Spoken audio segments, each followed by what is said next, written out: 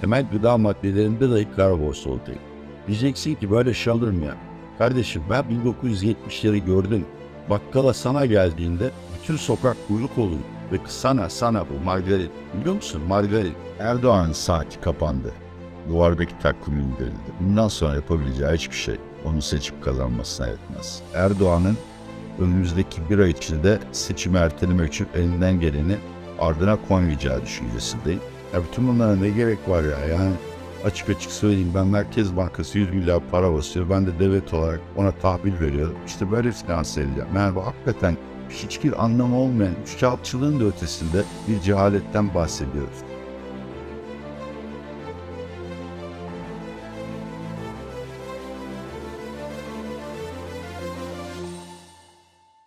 Atiye Bey merhaba, hoş geldiniz yayınımıza. Hoş bulduk Sevinç. Bir kez daha fevkalade karanlık bir günde yayın yapıyoruz. Yine bütün milletimize özellikle Hatay'a geçmiş olsun. İnşallah can kayıpları altta sınırlı kalır ve ağır yaralı vatandaşlarımız da iyileşir. Dün akşam saatlerinde 6.4 ve 5.8 iki deprem daha oldu. Sürekli deprem oluyor ama tabii bunun şiddeti fazlaydı. Maalesef can kaybı da var. Enkaz altına herkesi çıkartamamışken yeni can kayıpları gerçekten moralimizi daha çok bozuyor. Pek çok konuda iyimserlik tarihi ve zamanı değiştirebilir. Ama bu konuda gerçekçi olmak zorundayız. Deprem uzmanlarından anladığım kadarıyla bu tür artçı depremler bir yıl daha sürecek. Bunların bazıları çok şiddetli olacak. Bu konuda eminim. Yani benim bu konuda bildiğim her şeyi teyit ediyor. En büyük sorunlardan biri de çok güzel bir laf söyledi değerli hocalarımızdan biri dün akşam. Binalar yorgun dedi. Yani bundan sonraki depremde şiddeti daha düşük olsa da fiziksel kayıplar çok daha ağır olabilir. Öte yanda tabii ki deprem uzmanları arasında biz ekonomistler gibi çok ciddi bir tartışma var. Bu özgür bir deprem mi? Başka fay tetikledim. Buna benim girecek halim yok bildiğim konu değil ama tartışma İstanbul'a odaklanmaya başladı. Bu konuda da tabii ki insanları uyarmayı görev biliyorum. İçinde olduğumuz binanın hiç olmazsa depreme ne kadar dayanıklı olduğunu ölçtürelim. Keşke hükümet hem deprem bölgesinde hem de Türkiye genelinde KGF ile saçma sapan teşviklerle uğraşacağına şu anda en önemli ve en açık gündem maddesi olan vatandaşa kendi binasının dayanıklılığını ölçme ve hatta işte güçlendirme konusunda maddi destek sağlasak. Atiye Bey burada şunu soracağım. Şimdi kira güçlendirme ve depreme dayanıklılık demişken benim aklıma takılan bir şey var. Şimdi İstanbul'da da tabii insanlar çok panik. İstanbul'da bir deprem bekleniyor. Onun tabii stresi arttı şu anda insanlar üzerinde. Herkes binasını kontrol etmek istiyor. Kentsel dönüşüm furyası yeniden şiddetlenebilir. Konut fiyatları zaten malum. Burada bir çözüm var mı? Ve bir de şunu soracağım. Türkiye'nin büyük ölçek gibi kentsel dönüşüm veya işte güçlendirme, depreme şehri dayanık hale getirecek bir ekonomik kapasitesi var? Bu iki şeyi merak ediyorum. Yok. Valla bir soruda çözüm yok dediğim gibi yani devlet teşvik vermekten başka kiralara veyahut da konut fiyatlarına tavan koymak gerçekçi bir çözüm değil. Yani NAK dediğimiz bu fiyat tavanları hiçbir şekilde hiçbir yerde işe yaramadı. Süpermarketler güya gönüllü indirim ve fiyat dondurma yaptılar. Gıda fiyatlarına bir etkisi oldu mu? Yani siz piyasa ekonomisinden çıksanız da piyasa ekonomisi sizden çıkmıyor. Dolayısıyla böyle yolları fiyatlara ve piyasadaki arz talebe müdahale ederek değil, devlet kaynakları kullanarak çözmekte bir şey var. Ee, bir yarar var. İkincisi, Türk dün bir e, İngilizce sitemizde yayını Dünya Bankası 2021'de yaptığı bir çalışma var. Türkiye'deki bütün binaları depreme güçlendirmenin maliyeti. Dudaklarınız çıkacak 475 milyar dolar. 475 milyar dolar. O kadar geciktik ki. Bir her zaman gibi zengin fakir ayrımı çok acı bir şey. Kapitalizmin en kötü gerçeği. Yani çok zengin olanlar taşınacak, depreme güvenli bölgelere iletecekler veyahut da binalarını güçlendirecekler, gerekli tedbirler alacaklar. Yine olan fakir olacak. Bu parayı hiçbir ülke ödeyemez. Ya bu şey çok e, yani bu hükümetin dün Sayın Erdoğan'ı da dinledim. Tam rakamları kafamda toplayamıyorum. 150 bin yeni konut inşaatına başlayacağız dedi. Ya bu bir çılgınlıktan başka bir şey değil. Bir, bir hafta içinde e, konutların nereye yapılacağını planlamış olamazlar. İkincisi bu işin lojistik boyutunu planlamış olamazlar. Üç, yine böyle işte Kızılay çadırlarında gördüğümüz gibi dizi dizi binalar yapılacaksa bunun hiç faydası yok. Yeşil alanlar falan konulması lazım. Daha önemlisi kardeşim işte bugün basını açıyorsun hangi gazete okusan kiralar fırladı. İnşaat malzemeleri fiyatı fırladı. İnşaat ve konutla ilgili hizmet verenleri fiyatı fırladı. Yakında gıda fiyatları, sağlık hizmetleri ve özel eğitim hizmetlerinde akıl almaz fiyat artışları göreceğiz. Bu noktada 100 bin konut gibi projeyle ortaya çıkmak gerçekten çılgın. Sebebi de şu.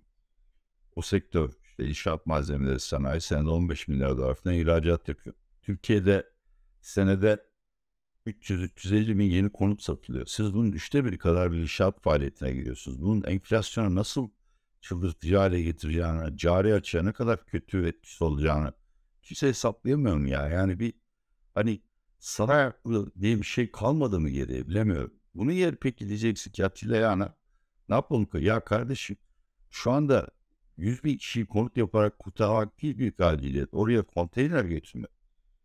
Yani iş çadır kurmakla olmuyor. Orada en az bir yıl o çadırlarda barınacak insanların ikmal ve iaşeşini hazırlamak lazım. Bunun tartışmasını yapmak lazım. Bir yıl o bölgeye gıda sevk edeceğiz. Bir yıl o insanlara sağlık hizmeti vereceğiz. Yani bölge Türkiye'nin her tarafından kamuda çalışan veyahut da özel sektörde gönüllü doktor, hemşire ve diğer sağlık hizmeti görevlilerinin o bölgeye aktarılması lazım. Asayişi nasıl sağlayacaksın? Bir ay sonra o bölgede ben sana söyleyeyim talan ve yağma ve kavgalar başlayacak. Bütün göçmen kamplarında bu olmuş. Bu noktada seçim kazanma yarayacak veyahut da prestij projesi olarak göze çarpmak amacıyla konut inşaatına falan başlamak yani acıları depreştirmekten başka bir şey yaramaz. Bizim ilk önce ve o bölgelerde eğer çocuklar aileleriyle birlikte konteynerlarda kalacaklarsa bunların eğitim hizmetlerinin karşılanması lazım. Şu anda Türkiye'nin yani işte bu yeniden inşanın maliyetleri ortaya çıkıyor. 25 milyar, 60 milyar diyen var. 30 milyar diyelim. Siz burada yıkılan 300 bin binanın %10'unu yapmaya çalışıyorsanız 10 milyar kadar para ödeyeceksiniz. Bu 10 milyar doları oradaki insanların bölgeden kaçmadan bölgede rahatlıkla yaşaması ve eskisi kadar olmasa da temel hizmetlere kolay erişmesi için kullansanız hem seçmen memnuniyeti artar hem bir anlamda yani topluma çok daha büyük bir hizmette bulunmuş olursunuz. Seçimler geçtikten, ekonomide dengeler yeniden kurulduktan sonra bu kadar kapsamlı bir inşaat faaliyeti başlatılmalı. İşin biraz ekonomik boyutuna değinmişken koordinatör vari Osman Bilgin'in bir açıklaması var. E, biz bu yayını yapmadan birkaç dakika önce sosyal medyada çok paylaşıldı. İstiyorsanız onu bir önce bir izleyelim. Çağrıda özellikle de şunu söylüyorum. Yaşadığımız felaket normal bir felaket değil. Türkiye Cumhuriyeti vatandaşlarına, Türkiye Cumhuriyeti halkına şöyle diyor. Diyorum ki hepimiz malının yüzde onunu bu süreç için bağışlasınlar. Ve vatandaşlarımız gönül rızasıyla 10 liramız varsa 1 lirasını mutlaka bu sürece bağışlayalım. Hep beraber bu süreci ayağa kaldıralım. 10 liramız 5 liraya düşmesin. 10 liramız 20 lira olsun. Memurların hepsi bir aylık maaşını almasınlar. Ne olacak? Yani aç kalmayız. 3 ee, memur işçilerin hepsi bir aylık maaşını almasınlar. Evet Atilla Bey. Osman Bey'in iki tane fikri var. Birincisi memura bir aylık maaşlarını bağışlasın. İkincisi de herkes malının %10'unu bağışlasın. Vallahi ilk önce böyle daha uzun bir konuşmanın parçası kırpılarak bana sunulması ve bunun üzerinden yorum yapmak insafsızlık olabilir. Bu yüzden eğer başka bir şekilde başlamışsa konuşma özür dilerim Sayın Validen. İyi başladı. Tabii ki herkes malını bağışlasın. Buna hiçbir şey yok. Devletin böyle bir çağrıda bulunması doğaldır. Ama işçi bir memur bir aylık maaşını bağlarsa aç kalmaz. Ne demek yani? Yani sevgili vali hangi ülkede yaşıyor? Türkiye'de ortalama işçi memur maaşı ya dört kişilik ailenin gıda ihtiyacını dahi karşılayamayacak kadar düşük. Çok üzücü bir şey. Ayrıca devlet tabii ki toplumu koordine eden, topluma liderlik yapan bir aygıt olarak böyle çağrılar yapabilir ama bu işler başkalarının iyiliğe dayanarak toplumun sorunları çözer buna güvenemezsiniz. Ben başka kanallarda da söyledim. Derhal servet vergisi çıkartılmalı. Benim malım mülküm var, e, gelir durum değil. Benden alınmalı kardeş deprem maliyeti. Ama fakir sınıflardan, işsizlerden, işçi memurdan almayın. Devletin bağış kampanyalarını komik buluyorum ya. Bağış ismi üstünde gönüllü faaliyettir. Ve sivil toplum örgütlerinin e, becermesi gereken faaliyettir. Devlet ilk önce kendi işini yapsın. Sayın Şenol Doğuşçu bu sabah bir tweet attı. Umarım kendisine e, yanlış yansıtmıyorum. Anladığım kadarıyla bu bağışta bulunan Ziraat Vakıf ve Halk yeniden ekselma için devlete başvurmuşlar. Güldüm ya. Vallahi güldüm. Ya bütün bunlara ne gerek var ya? Yani açık açık söyleyeyim ben Merkez Bankası 100 milyar para basıyor. Ben de devlet olarak ona tahvil veriyorum. İşte böyle finanse edeceğim. Yani bu hakikaten hiçbir anlamı olmayan üç kağıtçılığın da ötesinde bir cehaletten bahsediyoruz. Yani elinizde muhasebe defteri oradan alacaktan alıp vereceği dönem varlıklardan alıp e, pasiflere yazıyorsun. Hiçbir şey değişmiyor ki sonuçta. Nakit akımı aynı, servetiniz aynı. Bu da bir, tabii bir propaganda aracı maalesef. Türkiye'deki her şey iktidar tarafında bir propaganda aracı olarak görüldüğü için dediğiniz gibi çok değişik, çok absürt, komik, akıl dışı uygulamaların bir tanesi maalesef. Peki seçim Atilla Bey şimdi 14 Mayıs'ta esasında o konuda Cumhurbaşkanı Erdoğan şeyi kararı çıkarmıştı. O, o doğrultuda gidecektik. Ama şimdi tabii deprem sonrasında 14 Mayıs, Haziran normal tarihinde yapılması bir de ertelenmesi geçen hafta konuştuk. Sizce hangi tarih en olası?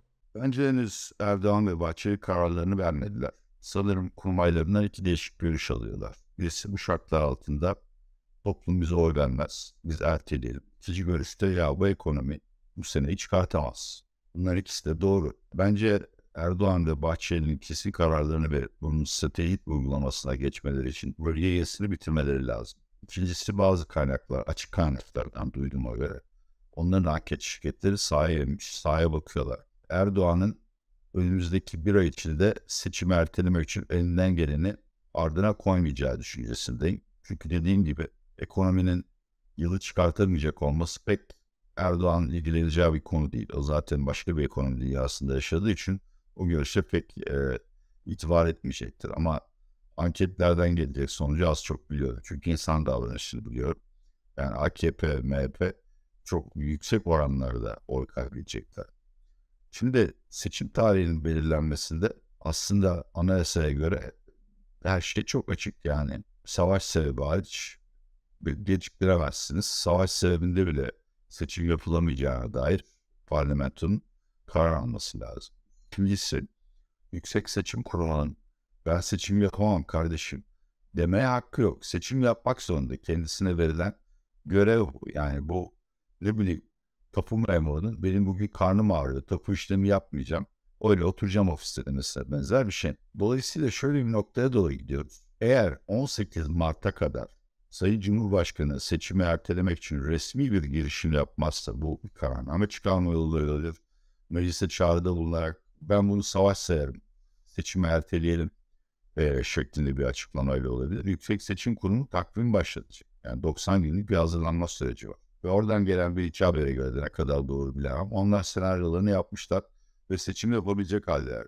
Kolay olmayacak ama yapılabilir bu dijital çağda. Dolayısıyla eğer 18'ine kadar seçim erteleme girişimi olmazsa ondan sonra yapılacak her şey gayrimeşru sayılır. Ve bu parlamento bunu kabul eder, anayasa mahkemesine gider, yüksek seçim kuruluna gider filan.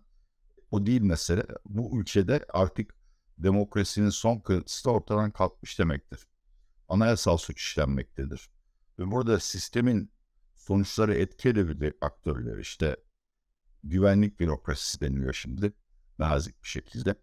Yüksek yargı organları, yüksek seçim kurulu ve yüksek bürokrasi böyle bir konuda Erdoğan'la işbirliği yapmakta son derece mütereddit olurlar. Çünkü olur seçimler gecikir, Erdoğan kaybeder ya da kendisi sağlık nedenleri ya da başka bir nedenleriyle emekli olmaya karar verir. O zaman bu kararın alınmasına destek veren bütün kurumlar şaibe altında kalıp halkın gözünde itibarlarını yitirdiği gibi bir de o kararın altında imzası olan herkes divana gider. Ya da artık pozisyon ne gerektiriyorsa ağır ceza gider. Dolayısıyla bence 18 Mart'a kadar her şey belirginlik kazanacak. 18 Mart'tan sonra artık hiçbir şey fayda etmez. Seçimler son nihai görüşme yapıyorsan soruyorsan 18 Haziran'da yapılır. Yani bu hiçbir şekilde seçimlerin ertelenmesine bence e, kurumsal destek de gelmez. Devlet aygıtlarını kastediyor. Muhalefetten de destek gelmez. Muhalefet konuda tek sesle konuşuyor. Ve Erdoğan da gayrimeşru yollarla, anayasa uygun olmayan yöntemlerle seçim ertelemenin riskini üstüne alamaz. Türkiye eğer hala Batı ülkeler arasında az ya da çok bir kabul görüyorsa bu en azından adil seçimlerin yapılmasına bağlı. Bu niteliğimizde yitirdiğimiz anda Batı ile olan ilişkilerimiz tamamen kopması noktasına gelir. Bu da yani siyasi bir durum değil, bunun ekonomiye de yansımaları olur. Mesela dış kredilerde bayağı zorlanırsınız.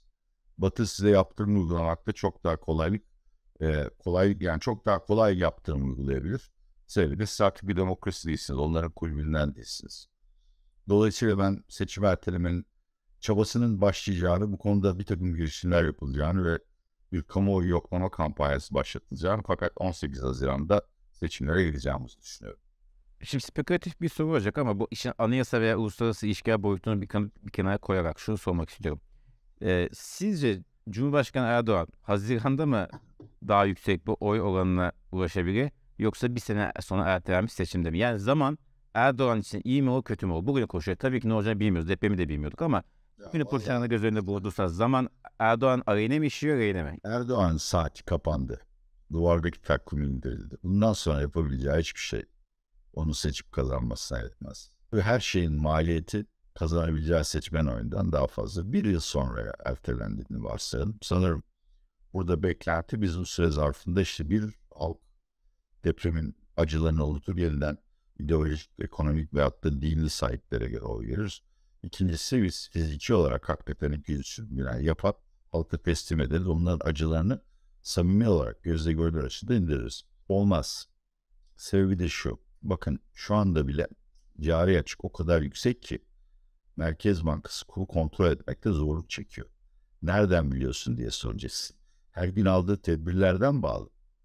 Panik içinde olmayan bir kurum her gün yeni bir döviz işlemine kısıtlama getirmez. Belli ki yeterli dövizleri yok. İkincisi seçmen kararlarında enflasyon ve işsizlik çok önemli bir rol oynuyor. Belki seçmenlerin yüzde sekseni bu iki kritere bakarak hükümeti değerlendiriyor. Beğenmiyorlarsa muhalefete oy veriyorlar. Şimdi yine bu sabah çok araştırma çıktı. Bu depremin muhtemel üretim kayıpları az. Milli gelirin yüzde bir ikisi kadar kayıp olur diyoruz. Bunun ne anlama geldiğini ben size işsizlik olarak söyleyeyim. Türkiye ekonomisinde büyüme, hükümetin beklediği gibi 5 değil de 2 ölçüye düşerse Türkiye'nin her yerinde işsizlik artar. Bakın zaten 2022 yıl sonundaki çok parlak bir yıl geçirdik. Geniş kapsamlı işsizlik %21'di. Yani insanlar ya iş bulamadıkları için çalışmıyorlardı ya da haftada birkaç saat çalışıp onunla geçinmeye çalışıyorlar. Bu sorunu çözemezsiniz. İkincisi o deprem bölgesindeki fabrikalar çalışamıyor. Fabrikaya bir şey olmamış ama işçisi yok. Başka bir şey daha var. Sayın Erdoğan'ın açıklamasını söylüyor. 1.6 milyon insan bölgeden başka yerlere tahliye edilecek ya da göç edilecekmiş. Bu ne demek biliyor musunuz? O bölgede üretim yapılamaz çünkü işçi gelmiyor fabrikaya. İkincisi o 1.6 milyon insan devletin iki kuruş yardımıyla geçinemeyeceği için bütün diğer bölgesel istihdam pazarlarında iş aramaya başlayacaklar. Ve o bölgedeki insanları belki işlerinden edecekler. Üçüncüsü enflasyonu eğer siz bir yandan biz bütün seçim harcamalarını yapalım, faizleri düşük tutalım. Öte yandan da bunun üzerine bir iş, dev bir inşaat faaliyetine gir. Belki normalde Türkiye ekonomisinin yıllık kapasitesi kadar yeni konut inşa etmeye kalkarsanız cari açık patlar, kur krizi yaşarsınız. Bir de enflasyonu 3 aylarda toplarsınız ancak. Şu anda bile bakın Türkiye çok büyük kuraklık yaşıyor. Hani bir ay içinde yağış yağmazsa bu sene sebze meyve en azından belki de tarılda akıl almaz fiyat artışları yaşayacağız. Şu ana kadar depremin ekonomiye hasarlı bölgenin ekonomik payıyla inceleniyor. Ama bu insanlar bölgeden çıkıp başka yerlere gittiğinde zaten çok hassas olan diğer hastalık belgelerini bozuyorsunuz.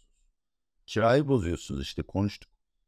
Kardeşim kira, kira, gıda ve işte yolculuk yani erişim.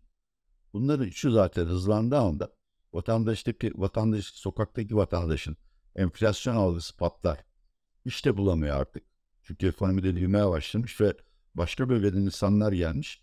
Sizin 5 lira yapacağınız şeyi şuraya yapmayı teklif ediyor. Mecburiyetten bir hükümeti seçip kazanması önemli olan iki önemli unsur. Sabit ve düşük enflasyonla yüksek istihdamı kaybettik. 6 ay sonra yapsan ne olur? Bir yıl sonra yapsan ne olur? Bunların hiçbir değişmeyecek ki.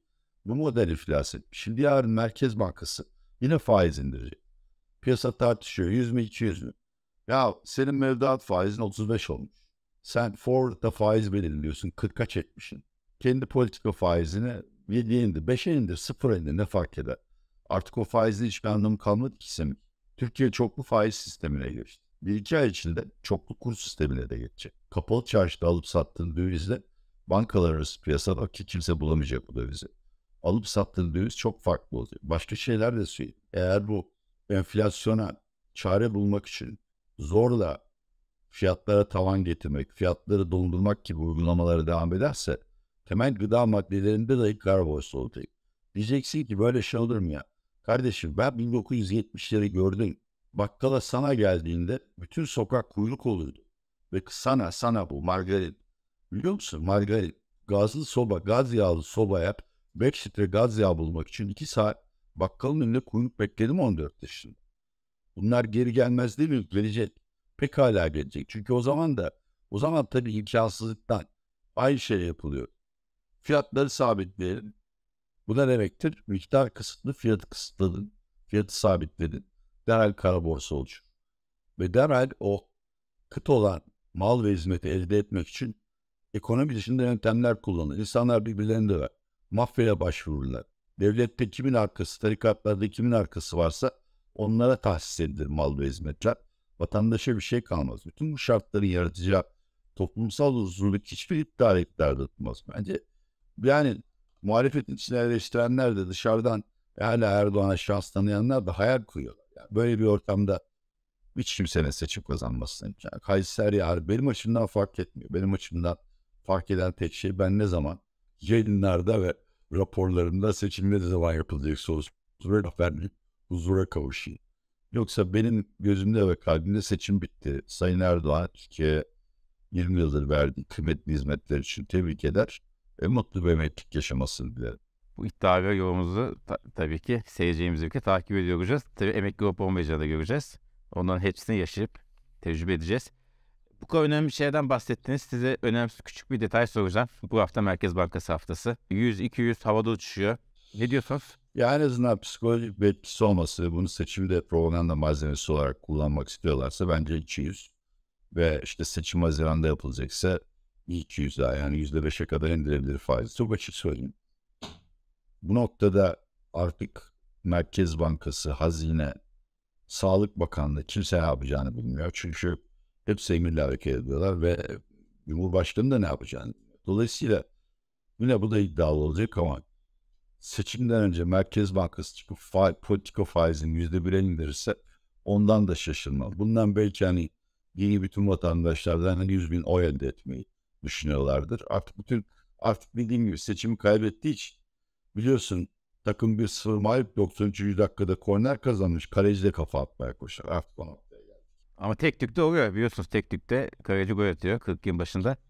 O ihtimal de her zaman masada. Valla ben her zaman bir siyasetçinin en büyük siyasi varlığının karizması ve hatta zekası olduğunu değil, şans olduğunu düşünüyorum. Sayın Erdoğan hakikaten bence son, son birkaç yüzyılda Türkiye'yi yöneten yerler arasında en şanslı olanıydı. Ama hani böyle şeylere pek inanmıyorum da inansaydım deprem onun şansının döndüğünü, şans tanrıçasının artık onunla aynı yolda yürümediğini söylüyorlar. Çok teşekkür ederiz Atiye Bey. Çok sağ olun. Süremizi doldurduk. Değerli vaktinizi ayırdınız. Bu arada küçük bir şey söyleyeyim. Ee, dün bir doktor randevu vardı. İlke Sipahi. Bizim yakın takipçimizimiz. Sizi de çok seviyormuş. İl- İleteyim dedim. Çok teşekkür ederiz tüm izleyenlerimize ve ona. Kendisine minnettarım. Kez daha inan yani böyle ortamlarda ne sosyal medyada görmek ne yayın yapmak istemiyorum. Çünkü insanların herkesin bağrı yanıyor. Eğer yanlış ya da üzücü bir şey söylediysem samimiyetle özür diliyorum herkesten. Dediğiniz doğru. Olabildiğince dikkatli olmaya çalışıyoruz ama hatamız olursa kusurumuza bakmasınlar. Umarız daha rahat günlerde yayınlarımızı yaparız ve daha rahat konuşuruz.